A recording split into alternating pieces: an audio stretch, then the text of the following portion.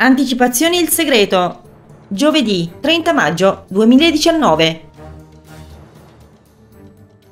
Tra Fernando e Raimundo volano minacce e offese molto pesanti. Maria convoca suo nonno in gran segreto e gli ribadisce che la strategia da seguire con il Messia è una sola, dargli fiducia. Alla fine la donna confessa in presenza dell'uomo che Beltrán ed Esperanza sono vivi e non morti durante l'incendio esploso nella sua abitazione a Cuba. Eustachio Molero dice di non essere giunto fino a Puente Viejo per discutere con il Santa Cruz, bensì per fargli qualche domanda e una proposta. Tutti temono che si tratti di una trappola e consigliano a Severo di non farsi vedere. Lui però non intende affatto nascondersi.